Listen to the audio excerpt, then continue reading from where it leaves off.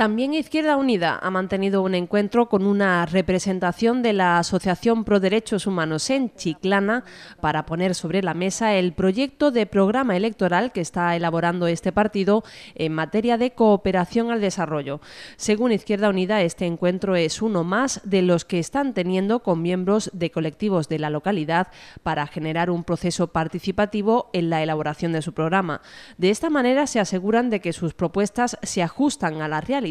y las necesidades de Chiclana, puesto que quienes mejor conocen estas condiciones son las personas que a diario trabajan en distintos ámbitos del tejido asociativo chiclanero, ha afirmado Ana Rodríguez, candidata de Izquierda Unida a la alcaldía de Chiclana. Durante la reunión, el responsable de Cooperación Internacional y Servicios Sociales en Izquierda Unida, Juan Rubio, expresó su apuesta por la revitalización de este área municipal, actuando desde el Consejo local y dando al Ayuntamiento más peso a la hora de promover la cooperación internacional y el trabajo de sensibilización a nivel local. Por su parte, María Caso, representante de la Asociación Pro Derechos Humanos en Chiclana, señaló que la entidad está elaborando un peticionario a los ayuntamientos que recoja la nueva realidad social. Ambas agrupaciones han quedado emplazadas a un próximo encuentro cuando el documento esté listo.